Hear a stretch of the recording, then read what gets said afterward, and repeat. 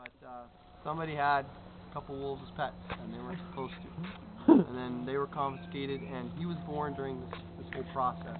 And he came in here at a, a couple weeks of age. Now, uh, because of the people that did have him, they bred him two different kinds of wolves, and, they, and we got Apache.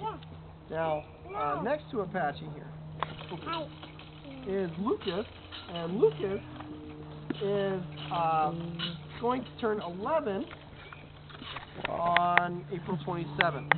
And he's uh, Canadian or the Rocky Mountain Grey Wolf. And with this situation right here, if I'm feeding Lucas, watch Apache. Look at that tail. You can notice that uh, his tail is raised just a little bit. He's definitely showing his dominance. Right there. Um, Lucas is the biggest wolf, weighs approximately 105, 110 pounds. Now, this young lady here is Kyla. Oh, and Lucas is the beta. He's number two. Um, yeah. Uh, Kyla is uh, going to be 14 years old. Wow. That lady, that's just bacon.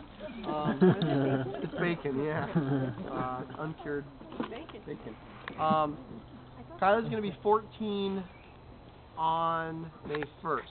She's our oldest wolf. Um, she's Canadian Rocky Mountains. Weighs about 70 pounds. And in this pack, she's the Omega.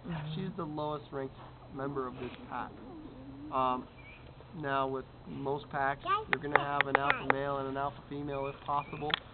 Um, now, we have a female in here. She's just not in that alpha role. But a couple things uh, dictate that. One, these guys are habituated to people in all different ways. They've all lost their fear, and a little less, a little more for some. Um, now, if I put this bucket down, you'll probably watch Lucas in time. He's going to walk back to a place where he's comfortable. Let me just check one more time.